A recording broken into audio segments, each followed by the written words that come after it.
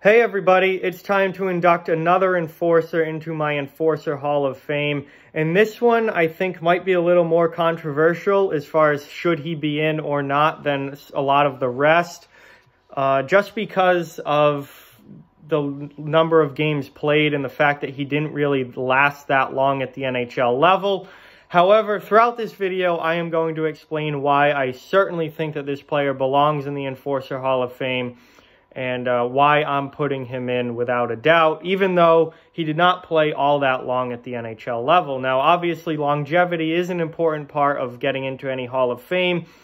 Really, you know, you think of the Hockey Hall of Fame, having one 100-point NHL season doesn't make you a Hall of Famer, but if you have 10 100-point seasons, you're probably a Hall of Famer. As far as fighting goes, having one 15 fight season doesn't make you a Hall of Famer, but having seven or eight 15 fight seasons probably gets you into this Enforcer Hall of Fame.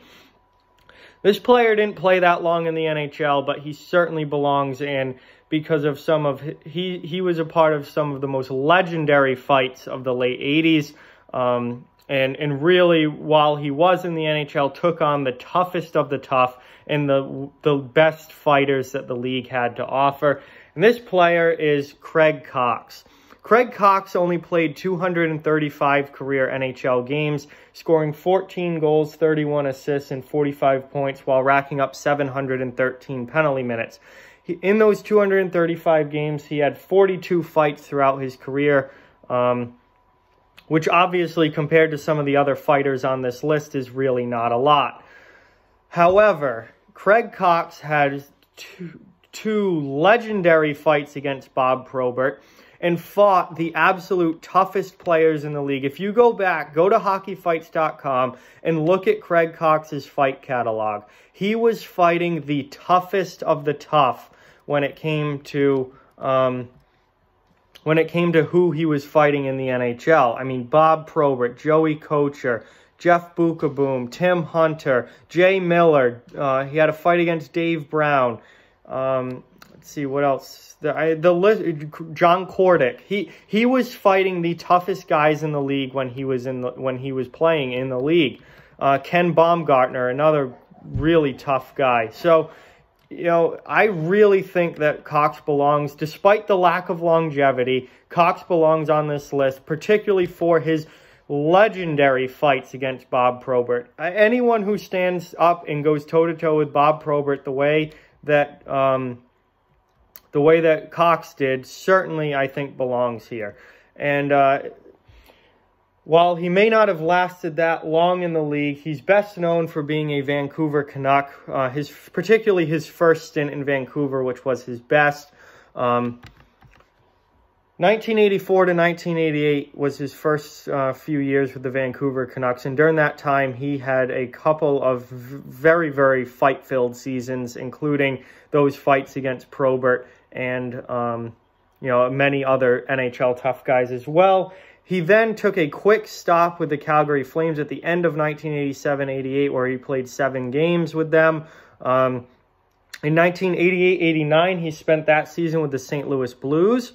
Uh, he then went to uh, the Vancouver Canucks again, back to Vancouver for from 1989 to 1991. And then he finished up his career with a 10-game stint with the San Jose Sharks in 1991-92. And that was it for Coxe at the NHL level. Um, spent most of his career games played came with Vancouver. Um, also had a pretty decent half season in 88-89 with St. Louis, but mostly as a Canuck. Uh, his best season as a fighter came in 1987-88 when he had 18 fights. Um, that also happened to be his best season in general in the NHL. Uh, he that was his best off, offensive season as well, uh, with 22 points that year um, between Vancouver and Calgary. Three seasons out of his NHL career, he hit 100 career or 100 penalty minutes in the season. And the reason that wasn't more is just simply games played. He didn't play enough to have more than three years over 100 penalty minutes. He just wasn't a regular in the lineup all that often outside of, uh, especially outside of Vancouver. Um, those other stops, he really didn't play a whole lot.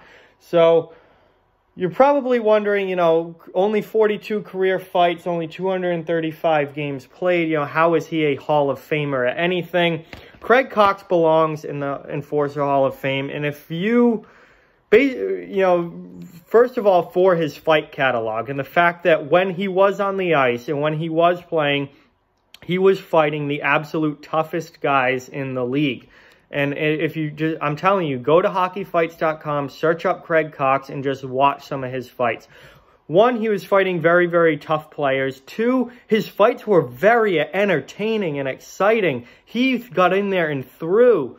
You know, these were fun fights to watch, which I definitely think raises his profile as a fighter. He was a really, really fun guy to watch fight and a very, very good fighter. And um, lastly, he has two legendary fights against the greatest fighter of all time in Bob Probert. The first time he fought him was in 1985. Definitely watch that fight. It gets a 9.56 out of 10 rating on hockeyfights.com. But then the big one is the rematch. This in my opinion, might be the greatest fight of all time. Singular fight, not counting brawls, counting singular two players toe-to-toe -to -toe fight of all time in NHL history. November 19th, 1987. Look this up. Craig Coxe versus Bob Probert.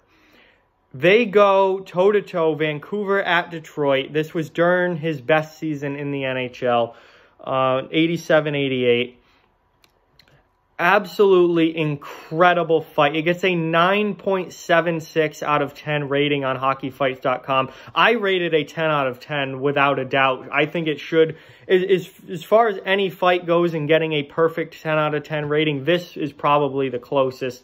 Um, I, it's just, it's unbelievable, toe to toe, back and forth. Both guys throwing bombs on each other. Absolutely incredible fight. If you haven't seen it, I 100% think that you should go and look it up and watch it. Coxe Probert, 1987.